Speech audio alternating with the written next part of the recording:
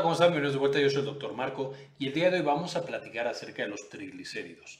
Ya hemos hablado antes de las grasas que están en nuestra sangre, en el video de qué es el colesterol y interpretación del perfil de lípidos, y hablábamos justamente de los triglicéridos, que es otro componente de este mismo estudio y es otra de las grasas que vive de nuevo en nuestra sangre. Entonces con esto vamos a verlas con más detalle, ver qué patologías pueden llegar a causar, cómo podemos prevenirlos y finalmente de qué debemos tener cuidado. Entonces con esto empecemos. Revisamos entonces qué son los triglicéridos, que por supuesto es esta estructura que tenemos aquí abajo y podrán ver que químicamente aquí tenemos algo que se llama grupo glicerol y tenemos tres ácidos grasos. Entonces realmente triglicéridos, el nombre completo sería triacil de ácidos grasos, gliceroles, porque están pegados a este glicerol. ¿Qué son estos triglicéridos? Esencialmente son la principal manera en la cual el cuerpo puede guardar energía. Son el lípido más común, más frecuente y eh, potencialmente es una fuente inagotable de energía que puede tener el cuerpo y eso lo podemos ver justamente en pacientes que tienen sobrepeso y obesidad que pueden acumular y acumular energía a través de estos triglicéridos en hígado y en, tejido adiposo o tejido graso eh, para teóricamente usarlo cuando no tengan acceso a comida. Entonces, es una fuente extremadamente importante de energía y va a haber algunos órganos que en algunos momentos, como el ayuno, por supuesto, son completamente dependientes de estos triglicéridos. Ahora, ¿de dónde vienen? Sin meternos muchísimo en la parte bioquímica, la comida ya sabemos que va a tener, entre otras cosas, carbohidratos. Entonces, cuando nosotros la comemos, por supuesto, pasa por nuestro tracto digestivo y ahí va a ser separada hasta sus componentes más básicos, siendo unos de los importantes la glucosa, que ya hemos revisado también en el video de qué son los carbohidratos, que les voy a dejar en la parte de arriba para que lo puedan revisar. Esta glucosa, la función básica en el cuerpo es transformarse en la energía, literalmente lo que usan nuestras células y nuestras mitocondrias para funcionar, el corazón para latir, el cerebro para liberar neurotransmisores y comunicarse y que nos movamos y demás. Eso es en forma de ATP, adenosintrifosfato. Estos grupos fosfatos son justo los enlaces que guardan la energía cuando nosotros comemos demasiado, hay demasiada glucosa, hay demasiado ATP y el cuerpo dice, ¿sabes qué? No lo puedo desperdiciar. La energía es demasiado valiosa, tengo que guardarla de alguna manera. Y esencialmente lo que va a hacer a través de varios eh, procesos bioquímicos es que transfiere esa energía como a, un compuesto, como si fuera la gasolina, en la cual se acumula, esto es llamado un ácido graso. Muchos, muchos carbonos que tienen alrededor muchos hidrógenos. Este ácido graso, a su vez, para volverlo más estable, se le pega a este grupo glicerol que estamos mencionando, eh, se le pegan tres y entonces tenemos triglicéridos o triacilgliceroles. Y estos ácidos grasos, como pueden ver, también pueden variar bastante. Pueden tener más o menos carbonos, pueden tener dobles enlaces, siendo saturados o insaturados. Y esto será importante cuando veamos que una de las estrategias para disminuir los triglicéridos son justamente ácidos grasos no saturados, conocidos como omega 3. Una de las intervenciones más fuertes para disminuir triglicéridos es justo este consumo de ácidos grasos omega 3, por ejemplo el pescado. Pero bueno, en un día normal comimos demasiada glucosa y luego no tuvimos actividad física. Eso por supuesto lleva a que sobre la energía y entonces el cuerpo va a transformar toda esta glucosa sobrante en triglicéridos y la va a guardar en dos tejidos importantes, en el hígado y en el tejido adiposo. De nuevo, considerando que pues, van a usar básicamente todo el espacio que tengan. Si tenemos muchísima glucosa, podemos llenar el hígado de triglicéridos y aquí ya podremos ir imaginando que esto va a llevar a que los pacientes tengan hígado graso, un hígado que ya se llenó justo de grasa y vamos a tener por supuesto que también va incrementándose el volumen de todo ese tejido adiposo, del estómago y de todas partes del cuerpo donde tengamos ese tejido adiposo, generando sobrepeso y obesidad. Si nos metemos un poquito más a la parte bioquímica, sin meternos muy muy a fondo, pero tenemos que de la comida sacamos los carbohidratos y las proteínas, principalmente los carbohidratos para el tema de los eh, triglicéridos, van a convertirse en su expresión más básica, en justo el pilar, el cuadrito o el ladrillo para formar un carbohidrato completo, es la glucosa y en el caso de las proteínas, los aminoácidos. Estos dos van a pasar a través de diferentes estructuras, principalmente el hígado, pero también otros tejidos pueden transformar estas dos cosas eh, en acetilcoenzima A, de ahí ácidos grasos y finalmente los triglicéridos, un poquito con el proceso que veíamos en la diapositiva pasada. Importante mencionar que esta transformación va a estar controlada y mediada por la insulina.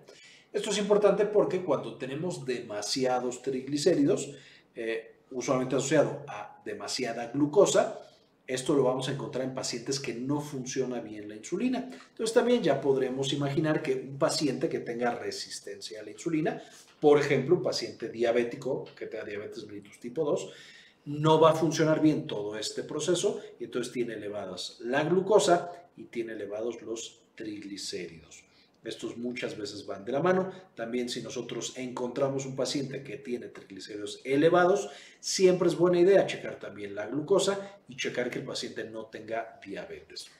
Y por supuesto, en formas muy severas de diabetes, vamos a tener que el paciente, eh, toda esta vía está muy mal y entonces empieza a producir cuerpos cetónicos o cetoácidos como el acetoacetato y el beta-hidroxibutirato que ya vimos en el video de que es la cetoacidosis diabética que también les voy a dejar acá en la parte de arriba para que vean esta complicación súper grave de los pacientes diabéticos que puede eh, llegar a matarlos incluso por una diabetes que no se controló de manera adecuada. Los triglicéridos son importantes porque van a ser la mejor fuente de energía que tiene el cuerpo. Si nosotros evaluáramos por gramo de la sustancia cuántas calorías, calorías es lo mismo que energía, le aporta a cada una de nuestras células, veríamos que carbohidratos y proteínas por cada gramo que nosotros consumamos va a aportar 4 kilocalorías o calorías, que sería básicamente lo mismo. Dentro de las cosas que aportan más energía está el alcohol, y aquí es importante tener en mente el alcohol. Ya podrán también imaginarse que entonces el consumo de alcohol, al ser una fuente buena de calorías, pues también va a llevar rápidamente al incremento de triglicéridos. Y finalmente los lípidos, siendo entonces los lípidos otra fuente importante de energía, especialmente los triglicéridos, que están, son abundantes tanto en tejido animal como también en tejidos vegetales, estos famosos ácidos grasos. Los podemos literal consumir directamente y una vez que los consumimos nos va a aportar 9 calorías por cada gramo que nosotros estamos consumiendo. Al ser fuentes tan importantes, cuando tenemos algún tejido tan importante como el corazón, que tiene que estar trabajando absolutamente cada minuto de cada día de la vida de un individuo, cuando nosotros ya comimos hace rato ya no tenemos tantos carbohidratos en la sangre, inmediatamente el corazón va a empezar a utilizar los lípidos, específicamente los triglicéridos. Entonces va a haber una gran cantidad de horas en la cual nuestro corazón depende de la concentración de triglicéridos en la sangre para poder funcionar. Si no tuviéramos esos triglicéridos, entonces tendríamos problemas muy serios y nuestro corazón no trabajaría de manera adecuada. Por esto necesitamos niveles adecuados. Un nivel demasiado bajo es prácticamente imposible a nosotros poder producir triglicéridos de esencialmente cualquier cosa que comamos. Eh, no hay prácticamente eh, casos de niveles demasiado bajos de triglicéridos, pero definitivamente podemos tener niveles demasiado altos. ¿Cuál es lo normal? Menos de 150 miligramos por decilitro se considera una concentración normal y saludable de triglicéridos en la sangre. Cuando nos vamos al siguiente nivel, de 150 a 199, esto es considerado limítrofe, ya no es sana la concentración de triglicéridos, sin embargo, todavía podemos corregirla a través de intervenciones dietéticas e incrementar el ejercicio que hace ese individuo. De nuevo, más omega 3 a través del pescado, más frutas y verduras, eh, más eh, fibra y demás. Una vez que pasamos de 200 miligramos por decilitro, realmente la concentración es bastante elevada. Usualmente la dieta y el ejercicio, al menos de inicio de manera solo, no va a ser suficiente. Y entonces vamos a necesitar frecuentemente intervenciones farmacológicas. De nuevo, este es el nivel elevado de 200 a 499 miligramos por decilitro. Y finalmente un paciente que tiene más de 500 miligramos por decilitro por supuesto tiene triglicéridos muy elevados, eh, está en riesgo y está en riesgo prácticamente inminente de tener alguna complicación de salud. Y aquí puede ser tanto daño al hígado, que muy rápidamente se puede dañar con niveles tan elevados de triglicéridos, y también el páncreas, que puede llevar a una pancreatitis severa que por supuesto acabe matando a ese paciente. Usualmente la, buena noticia es estos niveles de 500 o más se detectan o son frecuentes más bien en pacientes que tienen alteraciones genéticas que los llevan a tener hipertrigliceridemia, que eso es, son enfermedades ya bien conocidas. Un paciente que solamente come mal y hace poco ejercicio usualmente no llega a niveles de 500 miligramos por decilitro o más. De nuevo, son niveles muy, muy, muy altos y muy peligrosos.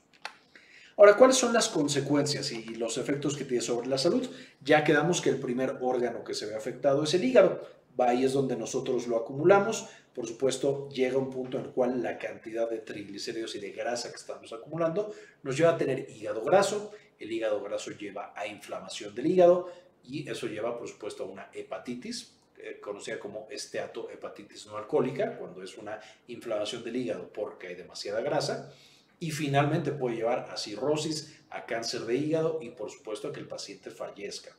De nuevo, ya tenemos todo un video hablando de hígado graso que les voy a dejar también en la parte de arriba para que lo puedan consultar y al que por supuesto hablamos con más detalle de esta patología tan importante. En segundo lugar tenemos el páncreas, que aquí hay dos mecanismos principales de daño o dos instancias en las cuales se reconoce el daño por los triglicéridos. La primera, como mencionábamos, es directamente la pancreatitis, cuando tenemos niveles bastante elevados de triglicéridos, directamente eso causa irritación de las células del páncreas, una pancreatitis y por supuesto que el paciente esté grave, porque una pancreatitis eh, puede ser una enfermedad bastante, bastante grave que tiene que ser manejada en hospital, a veces incluso en terapia intensiva. Aquí también va de la mano, otro de los principales factores de daño al páncreas es el consumo de alcohol. Si nosotros juntamos que el consumo de alcohol daña directo al páncreas e incrementa los triglicéridos, podemos ver que puede ser catastrófico para el páncreas justamente esta combinación. Ahora, de manera crónica, es decir, sin irnos hasta el extremo de una pancreatitis, se está estudiando si los triglicéridos pueden causar disfunción de las células pancreáticas y llevar a una resistencia a la insulina, es decir, que el páncreas ya no produzca tanta insulina y entonces el paciente tenga o progrese hacia la diabetes. Eso no está también estudiado, sin embargo, como mencionaba en diapositivas pasadas, sabemos que hay una relación muy fuerte entre que no funcione bien la insulina, porque tenemos resistencia a la insulina, como la diabetes mellitus tipo 2, y que tengamos triglicéridos elevados. Entonces, por eso siempre que nosotros encontramos triglicéridos elevados, tenemos que ir a buscar si hay también resistencia a la insulina y viceversa. En un paciente diabético tendríamos, o con algún otro mecanismo de resistencia a la insulina, como eh, eh, síndrome ovario poliquístico o alguna otra cosa por el estilo, tenemos que buscar triglicéridos que no estén alterados. Finalmente, y pongo al final y un poco más pequeñito, el corazón porque los triglicéridos solitos en un paciente sano, que no es hipertenso, que no fuma, que no es diabético, eh, que no tiene colesterol de tipo LDL elevado, etc., los triglicéridos no son uno de los principales factores de riesgo. De nuevo, primero tendríamos que, eh, o, son mucho más pesados en el daño que hacen al corazón, todos los demás. Sin embargo, cuando encontramos triglicéridos elevados en el contexto de un paciente que tiene colesterol elevado, que fuma, que bebe alcohol, que ya está grande, etcétera, etcétera, que es hipertenso, ahí sí es otro de los factores que tenemos que considerar y que evaluar para proteger el corazón de nuestro paciente. Eh, de nuevo, en el contexto de un paciente completamente sano que solo tiene alteraciones en los triglicéridos, no es tan importante, no, no tenemos que preocuparnos tanto por el corazón. Sin embargo, cuando está en el contexto de todas estas otras alteraciones, que es lo más frecuente, ahí sí los triglicéridos toman mucha más importancia en cuanto al daño que pueden hacerle al corazón. Ahora con esto, ¿cómo nos podemos proteger? Por supuesto, haciendo los estudios, necesitamos estar eh, monitorizando nuestro nivel de colesterol, eh, de colesterol, por supuesto, y también de triglicéridos con una frecuencia adecuada para nuestra edad. Vamos a tener que también una dieta balanceada y un ejercicio adecuado, es decir, no ser sedentarios y tener una actividad física constante. Eh, van a protegernos y van a disminuir directamente los niveles de triglicéridos. ¿Qué es esta dieta balanceada? Básicamente necesitamos que sea rica en omega 3. Omega 3 principalmente la dieta, que provenga de pescados azules, como el salmón, hay también omega 3 en, pastillas directamente. Esto no está tan demostrado porque hay muchos productos que tienen concentraciones muy, muy variables, que la calidad puede variar también bastante, de muy buena calidad a muy mala calidad. Y eso lleva a que en términos generales no se recomienda de manera sistemática el omega 3 en pastillas. De nuevo, se prefiere en la alimentación, usualmente a través de pescados. No quiero decir que las pastillas de omega 3 no sean buenas y no las necesiten algunos pacientes, pero usualmente en el pescado es mejor. Vamos a necesitar adecuada cantidad de frutas, de verduras y de proteína magra, principalmente proteína de, eh, por supuesto, pescado, pero también proteína de aves. Eh, idealmente sin piel, y tratar de evitar las carnes rojas lo más posible, o al menos moderar bastante el consumo. Ya sabemos que esto es bueno no solo para triglicéridos y colesterol, también para prevenir cáncer de colon y para otras patologías específicas. Y finalmente, evitar lo más posible el consumo de alcohol, que es de los principales factores que nos llevan al incremento de triglicéridos. Eh, disminuir o evitar también los azúcares simples, mientras más azucarado y más eh, sencilla esté la, molécula de glucosa, más riesgo tengo de que se transforme rápidamente en triglicéridos. Y lo mismo para las grasas saturadas. Todo lo que dé muchísima energía, debería yo tratar de evitarlo. E irme por alimentos menos procesados. Siempre la comida procesada es más simple. La comida menos procesada es la ideal. Ahora, para los pacientes que ya tienen niveles más elevados, que la dieta y el ejercicio no lograrán controlar solos, al menos de inicio, hasta que estén bien implementadas todos estos cambios en, los, en el estilo de vida, vamos a necesitar los medicamentos. Aquí los medicamentos específicos para controlar los triglicéridos son los fibratos, en segundo lugar, la niacina o ácido nicotínico. Y en tercer lugar, las estatinas. Las estatinas en términos generales se usan, ya sabemos, para el control del colesterol tipo LDL, que de nuevo es un factor de riesgo cardiovascular mucho más fuerte, mucho más importante. Eh, pero algunas estatinas pueden disminuir un poco, no completamente, la concentración de triglicéridos.